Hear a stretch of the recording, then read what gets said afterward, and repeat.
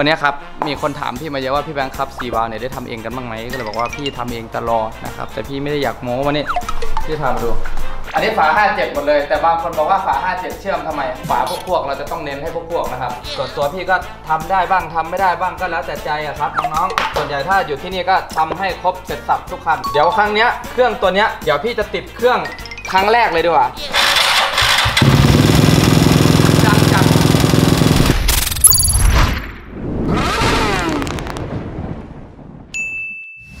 ก่อน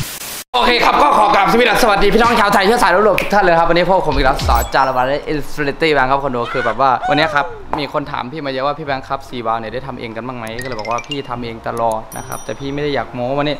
พี่พามาดูเนี่ยเห็นไหมฝาสีวาลลูกโต คือพี่ก็ทำเองอะครับ เชื่อมตีหลอดเองเห็นไหมเห็นหลอดข้างในไหมทำเองหมดนะครับ ก็ประมาณนี้แหละคือไม่ได้แอคเห็นไหมครับ อันนี้มาดูครับพวกฝา66เนี่ย งานแก้ก็ทำหมดนะครับผมเห็นไหมเนี่ยเนี่ยเนี่ยพวกฝา อันนี้ฝา 57 หมดเลย แต่บางคนบอกว่าฝา 57 เชื่อมทำไมเรื่องของกูนะครับ เพราะว่าฝาพวกพวกเราจะต้องเน้นให้พวกพวกนะครับ เพราะฉะนั้นประมาณนั้น อันนี้ก็เป็นฝารถลูกลูกลูก 59 แต่ว่าอยู่ดีๆพวกอยากใส่เป็นลูก 63 ก็ประมาณนี้เสร็จแล้วเนี่ยฝาที่เซ็ตเสร็จแล้วเนี่ยฝาเซ็ตเสร็จแล้วจะเป็นอย่างนี้เนี่ยเนี่ยอันนี้คือเซตซีซีเบ้าฝาให้ด้วยนะ คือเซตซีซีเบ้าฝาเสร็จแล้วเรียบร้อยนะครับ แล้วก็พร้อมเกา port อะไรให้เรียบร้อยแล้วนะครับ ตามสโลแกนของร้านเราประมาณนี้ ก็น้องๆถามว่า แล้วเห็นของแล้วพี่แบงค์ถ้าพวกกันนะทำให้นะครับ ก็เดี๋ยวพาไปดูเนี่ยอันนี้เห็นไหมอันนี้ก็ข้อเบี่ยงข้อแล้วก็ครบอันนี้ลูก68 เห็นไหม อันนี้ก็คือเป็นชุดของชุดนี้นะครับ อันนี้เป็นเสื้ออีกตัวหนึ่ง อันนี้ไปเดี๋ยวพาไปดูนี่พูดเยอะเราจะเจ็บคอ นี่แต่ก่อนเลย ก่อนที่จะไปทำนี่มาดูนี่ก่อนเน่เองเห็นอะไรหรือเปล่าวะ อันนี้คือเป็นครอบฝาถังสจในประวันนะ เดี๋ยวเปิดให้ดูเลย อันนี้เป็นรถเด็กข้างไข่แถวบ้านนะนี่มึงเห็นไหม ดูให้ดี เราจะครอบลงไปอย่างนี้เลยนี่ครอบลงไปเห็นไหมใช้ได้แล้วนี่เปิดใช้ได้แล้วนี่เห็นไหมนี่ครอบลงไป แต่ว่าจริง ๆ แล้วอะมันจะต้องใช้ค้อนค้อนยางตีลงไปปุ๊บปุ๊บปุ๊บปุ๊บแล้วมันก็จะอยู่ท่านี้เลย นะครับประมาณนี้อันนี้ก็สงวนขายอยู่นะครับพันห้าสิบบาทติดต่อได้ที่แอป SJ 1 1 12ยังไม่พอ นี่มาดูนี่น็อตอุดจานไฟอ่าใส่ให้ดูเลยน็อตอุดจานไฟประมาณนี้นี่นะ เข้าได้พอดีเป๊ะนะดูนะเดี๋ยวนะเอาขันไม่เข้าได้สัตว์เสียโลโก้หมดเข้าแหละนี่เห็นไหมจะอยู่ประมาณนี้ไอตัวนี้ก็จะอยู่ประมาณนี้เห็นไหมน็อตอุดจานไฟแบบนี้ไม่มีที่ไหนแน่นอนครับ มึงไม่ต้องกลัวหกเหลี่ยมขันเข้าไปแล้วจะลูดแบบตัวอย่างนั้น ไม่มีลูดเห็นไหมใช้หัวขันนะครับแล้วก็นี่ น็อตปิดโชคอ่าน็อตปิดโชคทั่วไปจะเป็นอย่างนี้เห็นนะอันนี้ทั่วไปงานกิโลของเราจะเป็นอย่างนี้ เย็ดจับปะล่ะหัวค้อนกูบอกเลยว่าไม่มีที่ไหนมีอีกแล้วนะครับ SJ 11 12น็อตขันฝาสูบ125นะครับผมนี่เห็นไหมน็อตขันฝาสูบหัวค้อนเหมือนกัน125ก็มีขายเลยนะครับ มีเลยมีของเลยทำไว้เรียบร้อยแล้วนะครับ แล้วก็นี่น็อตอุดพักเท้า มันอยู่ตรงไหนครับ มันอยู่ตรงนี้โอ้ my goodness สวยจัดแล้วก็ข้างล่างนี้เห็นไหมเนี่ยเนี่ยข้างล่างนี้ ตัวนี้ อ่า ก็หน้าตาเขาจะเป็นคู่กันอย่างนี้สองฝั่ง เงาตาแตก add ไปได้ แล้วน้องๆก็ถามว่าพี่ แล้วน็อตแข้งซ้ายขวามีพร้อมไหม ตอนนี้กูจัดให้ครบชุดเลย นี่หน้าตาเป็นแบบนี้ ดู น็อตแข้งซ้ายขวา เป็นไง หัวค้อนมีบาร์เบอร์ 10 เบอร์ 8 มึงอยากได้เบอร์ไหนได้หมดเนี่ยมึงว่าสวยปะล่ะไม่มีอีกแล้วในประเทศไทยถ้าใครจะทำได้แบบนี้นะครับ เพราะว่าอินดี้ที่สุดแล้วนะครับ แล้วถามว่าชุดซ้ายขวามีอะไรบ้าง ชุดซ้ายก็จะเป็นฝั่งครอบจานไฟ 8 ตัว ด้านขวา 13 ตัว พร้อมกับตัวครอบพลาสติกด้วย 3 ตัวนะครับผมแล้วก็ฝั่งซ้ายเนี่ยจะมีครอบโซ่ให้ด้วย 2 ตัวนะครับเพราะฉะนั้นทั้งหมดในชุดนี้จะมีทั้งหมด 20 20ฝ่าตัวนะครับอันนี้สงวน ราคาอยู่ที่ประมาณประมาณพันเหรือ 2,000เนี่ยครับชุดนี้ทั้งชุดเลย เป็นงานกึ่งมือแท้ร้อยเปอร์เซ็นต์เพราะว่าทุกตัวอาจจะไม่ค่อยเท่ากันนะครับ เพราะว่างานกึ่งมือแท้แน่นอนก็ฝากไว้ด้วยที่ @sj 1 1 12น้ำมันเครื่องน้ำยาล้างเครื่องเข้าแล้วนะครับ ก็ไปติดตามกันมา มาดูคันนี้อ่านั่งเลยพี่ก็คือตอนเนี้ยเราเนี่ยได้ทำการแปลงเนี่ยปกติแล้วอะสี่วาล์วถ้าเราใส่ฝาสี่วาล์วใช่ไหมมันจะเป็นมันจะต้องใช้เฟืองของปะวัน แต่เรานี่ครับ เราจัดเป็นเฟืองของ 125 เลยครับ แต่เบ้าในเป็นเบ้าประวัน เราก็เลยมาทดลองกันอยู่ว่า เอ้ย มันจะใช้ได้จริงหรือเปล่า เนี่ยเห็นไหมใส่ไปแล้ว ดู ใส่ไปแล้ว นี่ขนาดน็อตนี่กึ่งมือเลยแล้วน้องๆหนูๆจากทางบ้านมึงเห็นไหมเนี่ย น็อตล็อก cam กึ่งมือครับ น้องๆก็คิดเอา ไอ้ตัวนี้ก็มีขายนะครับ 650 มี มีเหมือนกันนะครับ ประมาณนี้ มา เดี๋ยววันนี้เราจะมา test กันว่า มันใช้ได้จริงหรือเปล่า ส่วนอันเนี้ยฝา ถ้าเป็นตัวเก่าแล้วเราจะต้องซื้อฝาประวานมาใส่แล้วก็ milling ข้างในนะครับผม โอเค ถ้าใครจะใส่เฟืองบิดจะต้อง milling แบบนี้นะครับผมก็ส่วนตัวพี่ก็ทำได้บ้างทำไม่ได้บ้างก็แล้วแต่ใจอะครับน้องๆ แต่ส่วนใหญ่ถ้าอยู่ที่นี่ก็ทำให้ครบเสร็จสับทุกคันนะครับ ไม่ต้องมาคอยว่ากลัวจะมีปัญหานู่นนี่นั่นอะไรเงี้ย เดี๋ยวครั้งเนี้ยเครื่องตัวเนี้ยเดี๋ยวพี่จะติดเครื่องครั้งแรกเลยดีกว่าก็พูดว่าครั้งแรกเลยดีกว่านะ จะได้ยินด้วยกันทุกคนว่า เอ้ยสี่วาล์วสจทำเป็นยังไง แต่ว่าเวทเนี้ยพี่บอกเลยว่าเป็นเวท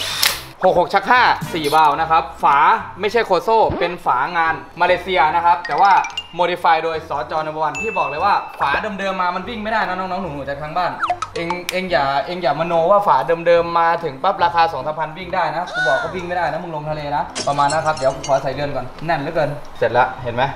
ไอ้น็อตเนี่ยมันจะรูดเห็นไหมยังเห็นยังว่าหัวมันเยินน้องน็อตปั๊มอะหัวมันเยินแล้วพอขันปั๊บเนี่ยเดี๋ยวเดี๋ยวให้ดูเลยเดี๋ยวกูให้ดูเลย เดี๋ยวนะ ไซส์มันอยู่ไหนเนี่ยไขแล้วมันรูดวัดวัดวัดเห็นไหมเนี่ยมันรูดมึงก็ใช้แค่ของกูเนี่ยมึงจะรูดยังไง มึงจะรูดยังไงเนี่ยมึงใช้อย่างเงี้ยขันมึงจะรูดยังไงเนี่ยเนี่ยมึงจะรูดยังไงเนี่ยเอาเดี๋ยวขันให้ดูนะไหนๆก็ไหนๆแล้วเพื่อเป็นการไม่เสียเวลา เอางี้ไปเดี๋ยวจะวาดของสจเกตกระโปรงลิงว่ะกูยิงบล็อกให้ดูเลยดีกว่าปะเพื่อเป็นการไม่เสียเวลาไหนล่ะเบอร์สิบกูแป๊บนึงครับคนดูหาเบอร์สิบไม่เจอโอ้ยเฮียเวลากูจะทำคลิปเนี่ยเป็นอย่างนี้ตลอดเลยนะไอ้สัสเดี๋ยวมายิง น่ะจบไหมจบครับ ง่ายๆ มาเดี๋ยวเรามาติดเครื่องเลยแต่ว่ามันจะสตาร์ทติดไหมครับคุณมึงว่ามันจะสตาร์ทติดปะอืมเฮ้ยมึงเชื่อใจกูขนาดนั้นเลยเหรอเอาอะอะก็ต้องติดดิหกหกชักห้าสี่วาล์ว by style สจ number one นะเว้ยเดี๋ยวนะกูถอยหน่อยตั้งนะมึงก็ไปตั้งหลักไกลกูกลัวระเบิดอะอะ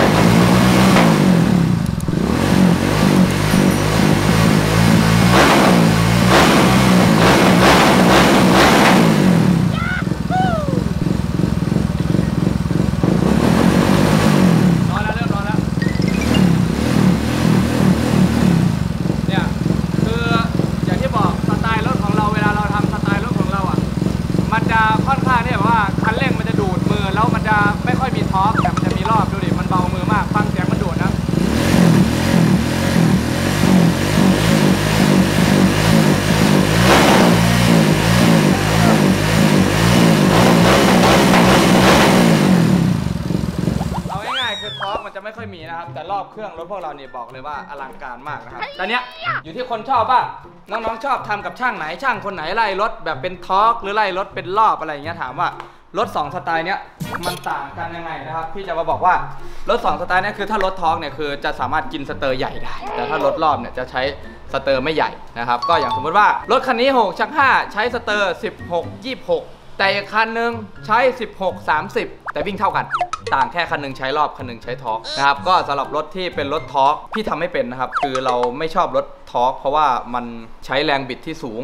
พอมันใช้แรงบิดสูง ภาระในเครื่องก็เยอะ มันก็เสี่ยงที่นู่นนี่นั่นจะพัง อะไรอย่างเงี้ยก็ไม่พูดเยอะแล้วกัน แต่ว่าถ้ารถรอบเนี่ย เมื่อไหร่ที่เราไล่มันเซ็ตมันลงตัวมันพอดีขี่ไปครับ ไม่มีพังนะครับ เพราะว่าลิงหรือว่าเวฟพวกเราที่ทำไปนะครับ ส่วนใหญ่จะเป็นรถรอบหมด ก็ไม่เคยมีปัญหานะครับ ก็รอบย่านรอบที่เราใช้ท้ายเกียร์4 หรือเกียร์5บางคันที่มีเกียร์5ท้ายเกียร์นะครับก็ท้ายเกียร์4ก็จะอยู่ประมาณรอบประมาณ 1 2ื่นถึง 13,000 รอบนะครับประมาณนี้ถ้าเราหมอบหรือโดดนอนอะไรกันนะครับ ก็ฝากกูด้วยกับเจ้าคันนี้ป่ะเนี่ยเสร็จแล้วพร้อมเสิร์ฟอันนี้เราจะอยู่เจ้าของรถอยู่ที่ไหนวะเออไม่รู้ดิเจ้าของรถอยู่ไหนไม่รู้อะนะก็อยู่ดีๆบอกไอ้เต้ให้เอารถเข้ามาทำมันก็เลยมาทำติดเครื่องอยู่เลย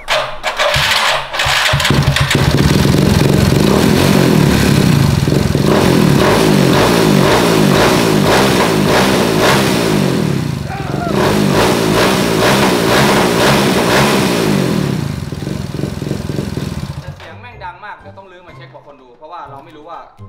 มีตรงไหนเกี่ยวอะไรยังไงก็อย่างที่บอกนะครับ รถกว่าจะเสร็จต้องรื้อสองสามรอบนะครับ ประมาณนี้ก็อย่าไปเร่งช่างเขามากนะครับ ก็สำหรับคลิปนี้นะครับ ไม่มีอะไรมากอย่าลืมกดไลค์กดแชร์กดติดตามเพื่อนผู้ดิ่งที่หมดติดตามเฟซบุ๊กที่โชคบุญจันทร์แล้วเจอกันใหม่คลิปหน้ากับเจ้าสี่วาล์วคลิปนี้ขอตัวลาไปก่อนนะน้องๆบ๊ายบายสวัสดีครับจุ๊บๆ